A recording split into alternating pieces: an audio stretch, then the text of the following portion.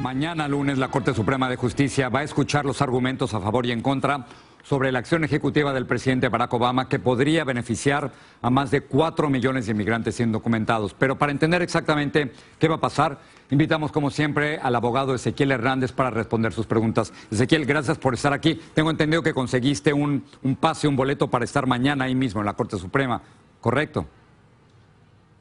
Así es, voy a estar ahí en la aula, vamos a oír a los ocho supremos ver qué dicen acerca de esta contienda. Ahora bien, ¿qué es lo que va a ocurrir mañana? Mucha gente cree que mañana la Corte Suprema toma una decisión. Eso no va a ocurrir, ¿verdad?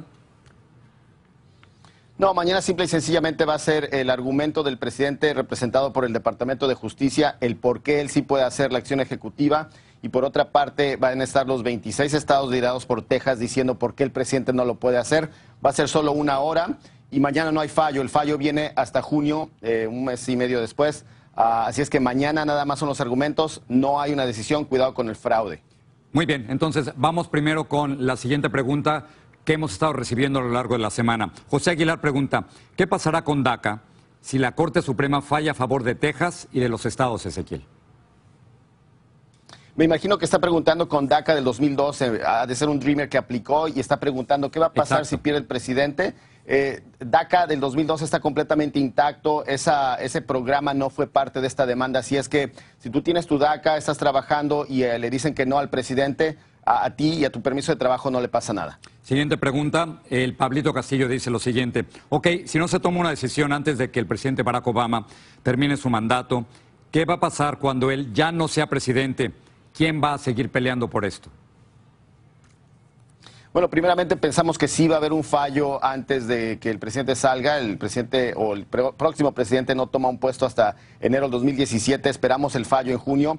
¿Quién va a pelear? Nosotros somos los que tenemos que seguir peleando. Esperemos que el mandatario o mandataria que llegue a ese puesto apoye Ah, pero realmente se requiere un Congreso que haga una reforma migratoria para que no tengamos que estar peleando por este tipo de pues, este, soluciones temporarias. Ayúdanos a entender cómo funciona la Corte Suprema de Justicia. Son generalmente nueve jueces, todos sabemos, por supuesto.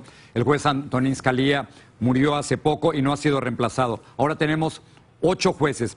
¿Qué pasa, Ezequiel, si empatan cuatro contra cuatro? Sí, y también mucha gente pensó que con ocho no se iba a realizar la, la audiencia y sí, sí funciona, sí siguen trabajando. Si queda 4 y 4 se va el, a, la afirmación del fallo del quinto circuito, que claro, todos sabemos que paró la acción ejecutiva. Así es que se necesitan cinco votos para poder ganar. Estamos hablando del, del, Supremo Kennedy Roberts, que le estamos poniendo mucha atención a ver cómo uh, pueden ser ellos el voto que le ayude a la, a la acción ejecutiva a, pues, a resucitar. Entonces, un empate sería una pérdida para millones de inmigrantes indocumentados. Es decir, cuatro contra cuatro no resuelve absolutamente nada.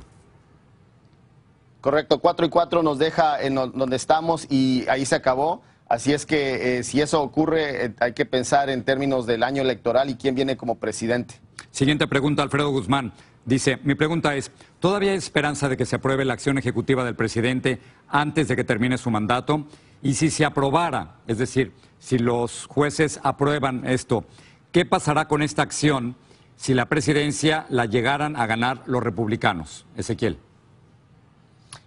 Sí, yo, tengo mucha fe y supongamos que sí gana el presidente. Ahí va a estar el punto para inmigración, para el Departamento de Seguridad Interna, USCIS por sus siglas, el poder desplegar un proceso que se pueda eh, aplicar y checar a toda la gente y luego aprobar en menos del tiempo que pueda salir un presidente y si llega un presidente que es republicano, en este caso por esta pregunta, y quiere cancelar ese programa, va a ser muy difícil si la gente sí aplicó, es decir, cuatro millones de personas, a comparación de si se esperan a no aplicar. Así es que mi consejo va a ser que si el presidente gana, que la gente aplique, porque ese programa tendría más fuerza política y económica para cuando entre una, una persona, un candidato que sería ese momento ya un presidente y quiera quitarlo, va a ser mucho más difícil para que eso ocurra. ¿Cuándo toma la decisión la Corte Suprema?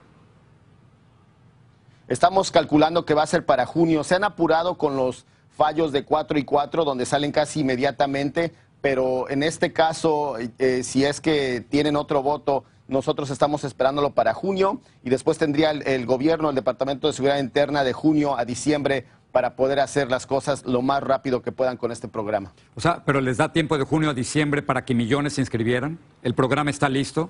les da...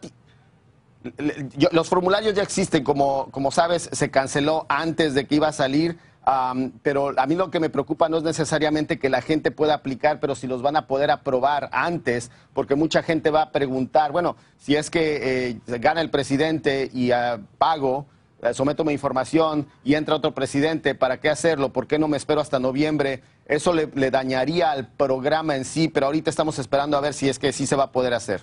Los, los periodistas y los abogados, supongo, Ezequiel, siempre nos equivocamos para predecir. ¿Tienes alguna predicción? Bueno, no nada más soy eh, eh, abogado también y, no soy periodista, pero lo que sí soy es un inmigrante y esa fe que tengo ah, se la tengo a la Suprema Corte de Justicia. Eh, no tiene que ver nada con inmigración esto, pero tiene que ver con si Texas tiene un daño, si tiene algo que ver o un derecho de estar ahí para poder parar un programa federal de tanta importancia, y a eso sí le tengo fe. voy a pronosticar que sí podemos obtener ese voto y a ver cómo me va. Ezequiel, Gracias por estar con nosotros. Ezequiel Hernández, vía satélite desde Washington. Mañana lunes está en la Corte Suprema.